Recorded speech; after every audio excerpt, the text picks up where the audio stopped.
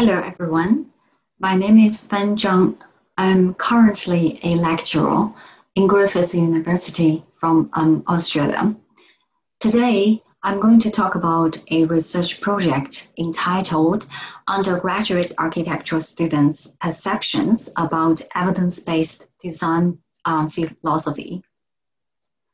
So first, about um, some background introduction. Um, first, what are the values? Values refers to um, the things that we care about, um, the things that we think are important, that matter to us. Um, values also refer to the goals and ideals we aspire to and measure ourselves by. Interestingly, the values are seldom agreed upon universally. On the contrary, values are often only shared by small groups of people. In the architectural context, um, the design values refer to attitudes, beliefs, orientations, and ideologies of the architects regarding how the designs should be made. Um, different design values are often in conflict with each other. So sometimes it requires the architects to make trade-offs between um, different design values. In the architectural field, there is a general lack of factual base or empirical foundation. So as a result, the design decision making is more dependent on architects' individual values and value sets rather than a um, empirical or factual base. The 20th century is mostly dominated by the modernist architecture and modernist design values. And one of the most important legacies of the modernist architecture is the lack of um, consideration towards human needs and environmental impact. However, entering into the 21st um, century, the social values, including architectural values, have now been shifted towards more human centered and environment conscious ideologies. Um, the next issue is about creativity. So, in the past, creativity has been deemed as um, a, a talent of, of only a few people, like um, artists, musicians, and inventors. However, the concept of creativity has been broadening in recent decades. Now it's being perceived as, as something that can be learned. In terms of the um, architectural context, of course, creativity um, plays an essential role in doing architectural design. However, there is another um, equally important thing, which is um, social responsibility. It plays an also a very important role in building up a meaningful built environment. Um, design methodology refers to um, the study of the principles, practices, and procedures of design. And in Jones Christopher's book, he sees design methodologies as a way to reconcile conflicts between art, which is known as an intuitive process, and science, uh, which is an uh, rational process. So um, any design um, uh, methodology will fall somewhere between these two ends. Um, the previous studies about the uh, design, architectural design education has revealed that there are three major shortcomings. Um, the first one is the unresponsiveness to the changing needs of um, social and architectural values. And the second one is the lack of design methodology. And the third one is the lack of consideration for building users in the design process. Um, the next issue is um, evidence-based design, short for EBD. Evidence-based design is inherited from evidence-based medicine. And in the architectural context, it refers to a process for the conscientious, explicit, and judicious use of current best evidence from research and practice. Um, although EBD has gaining um, has been gaining some momentum in the um, architectural design practice, um, EBD has rarely been taught as a holistic and systematic design philosophy that will guide the students to uh, come up with design solutions. So in this research project, um, I aim to incorporate the new and innovative EBD uh, design philosophy into undergraduate architectural students' um, design education, and also examine students' perceptions and attitudes towards EBD before and after um, the introduction of EBD. Um, the evidence-based design is embedded into an undergraduate um, um, course called Innovation in Design, which also aims to introduce um, various um, innovations in the broader building industry. So um, the teaching and learning activities of um, EBD uh, was only embedded in the contents um, from week one to week four. So week one is the introduction of the um, innovation in the architectural context. Week two discusses about the concepts of design values, design methodology, the changing concept of um, creativity, and also evidence-based design. And uh, week three will introduce the human-centered design, uh, including social design, biophilic design, and active design. And in the week three tutorials, students uh, are introduced to the um, scientific modes of inquiry for the human behavior studies, um, including questionnaire, um, interviews, um, naturalistic observations, and observing physical traces, etc. And a week four will introduce the environment conscious design, including green, sustainable, and zero energy building design methodologies.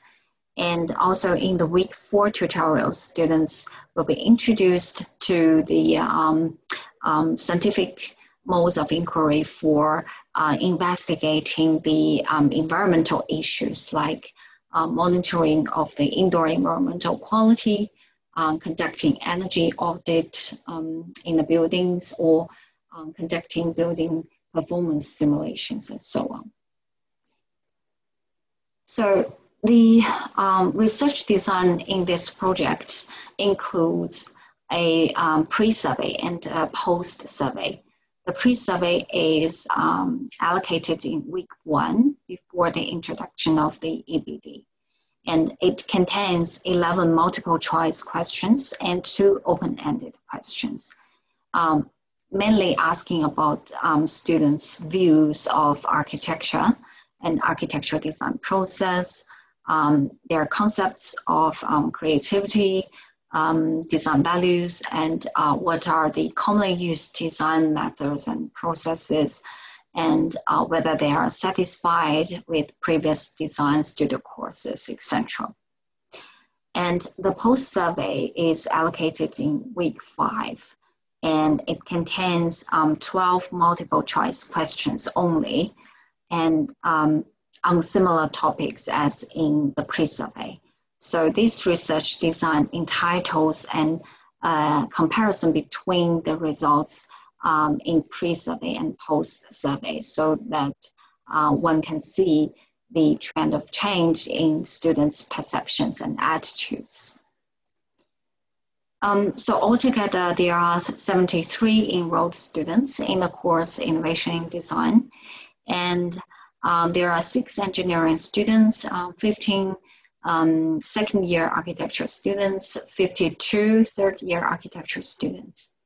And um, the surveys were only open to architecture students, not the engineering students. And in the pre-survey, uh, there are altogether 52 responses collected, um, representing 78% of the response rate. Um, and in the post survey, there are um, 33 responses, which is about 48% um, of the response rate. And all the collected data were first um, tested for normality using the Shapiro-Wilk test. And uh, for the non-normally distributed data, they were analyzed by the independent samples Mann-Whitney test. And all the statistical tests were um, carried out in SPSS, and um, the multiple choice questions were analyzed by the descriptive statistics, and um, all the open-ended questions were analyzed by the thematic analysis. So the results.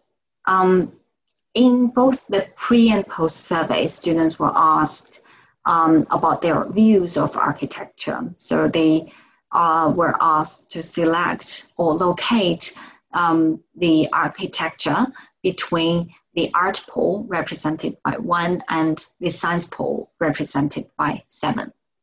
So the mean score in the pre-survey was um, 3.8 and the mean score in the post-survey was um, 4.1, um, indicating that um, the view of architecture was um, sl slightly closer to the science pole in the post surveys. However, this difference was not statistically significant. Um, in another similar question, students were asked um, how they see the architectural design process compared to creation of art represented by one and solving a science problem represented by seven and the mean score in the pre-survey was um, 4.2, and the mean score in the post-survey was 4.4. Um, so meaning that um, students' perceptions of architectural design process were, uh, were more um, uh, closer to solving a science problem in the um, post-survey. Uh, however, this difference was not significant either. Um, in another question, students were asked whether they have developed or intend to develop clear design values in design projects. So one represents um, strongly disagree, and seven uh, meaning that they strongly agree with the statement. And um, the mean score in the pre-survey was uh, 4.9, and mean score in post-survey was um, about six. And this difference was highly significant, meaning that um, students um, displayed a stronger tendency to develop clear design values in um, their future design projects in the pro, um, post survey. And in another question, students were asked whether they have considered or intend to consider building users' needs and preferences in their previous on and future design projects. And the results showed that um, the mean score in the post survey um, was significantly higher than the mean score in the pre survey, indicating that um, students have developed um, a stronger tendency to consider building users' needs in their future design projects. Um, the post survey also asked students uh, whether they feel more confident in developing and implementing design values in their future design practices. And uh, the majority, um, specifically 81% of the respondents, have voted five and higher, indicating a prevailing positive response. In the pre-survey, students were asked whether they feel there is a lack of design methodology in their previous um, design um, projects and design studios.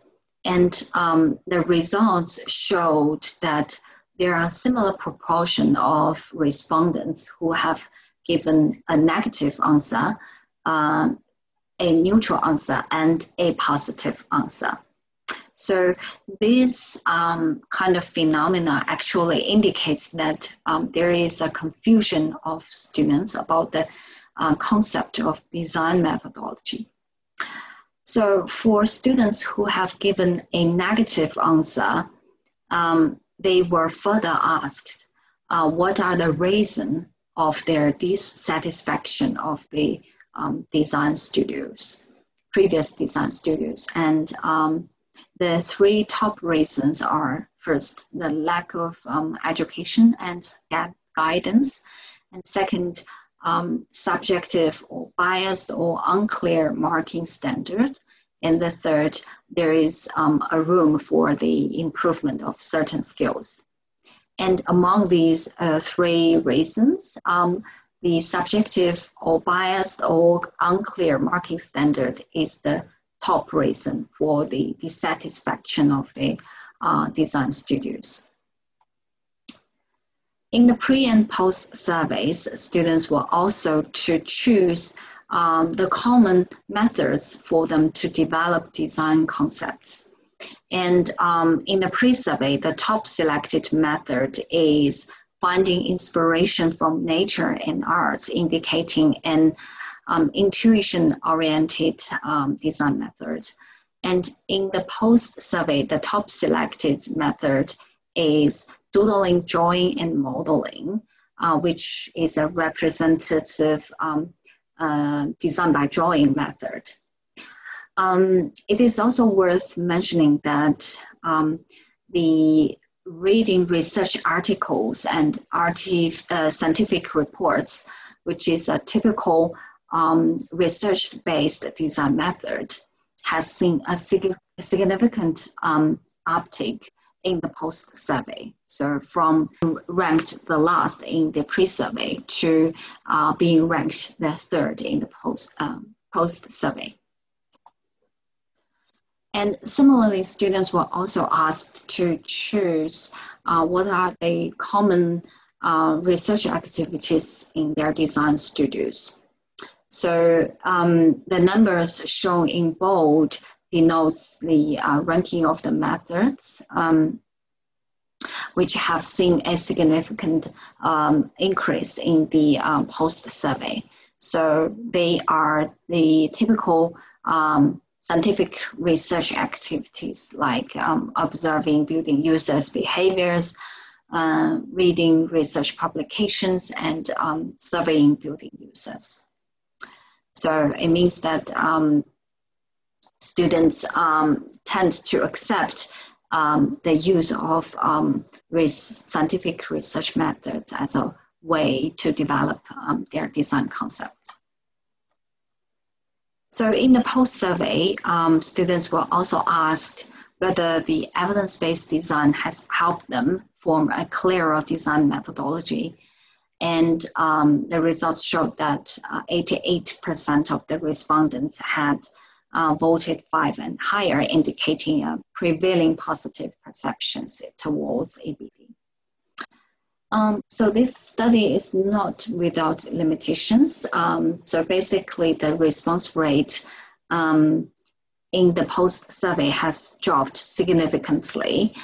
Um, as a consequence, the results might not represent the views and perceptions of the whole class. So final conclusions. Um, before the EBD was introduced, um, students commonly combined intuition um, design by drawing and some investigations and analysis in their design processes, but rarely utilized um, scientific modes of inquiry. And um, the research activities that they have commonly carried out in design studios, like reading uh, the architectural journals, um, did not really qualify for um, systematic research evaluation. And um, students are um, confused about um, design methodology. Um, after the EBD was introduced, students tend to develop clear design values and take building users' needs and preferences into consideration and they have shown an appreciation of learning fact-based knowledge. Um, and there is an uptake of um, fact-based and research-based design methods and process um, in their um, post-survey. And also, uh, there is a dominant perception that EBD has helped them form a clearer design methodology. Okay, so this is about um, the research project. I welcome your um, questions um, and comments. Thank you.